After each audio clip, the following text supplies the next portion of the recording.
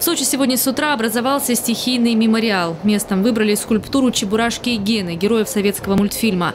Она находится на улице Новогинская. Сочинцы посчитали место символичным, ведь в пожаре из 64 погибших 41 – это дети. Сочинцы несли к импровизированному мемориалу цветы, свечи и игрушки. Люди стояли, плакали и просто молчали.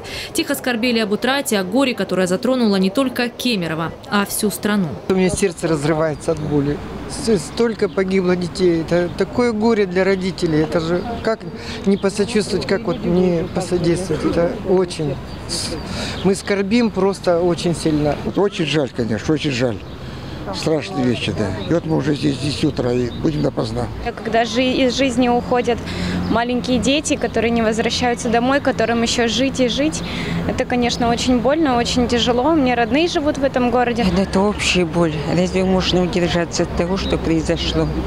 Я хочу здоровья всем, терпения и Дай Бог, чтобы все были здоровы, чтобы не совершалось такого. К, к такому человеческому горю э, ни один нормальный человек не может остаться равнодушным. То, что произошло, это, это очень страшно. И, конечно, сегодня мы все э, скорбим вместе с родственниками, вместе с родителями, вместе с друзьями погибших э, людей, детей. И молимся за них.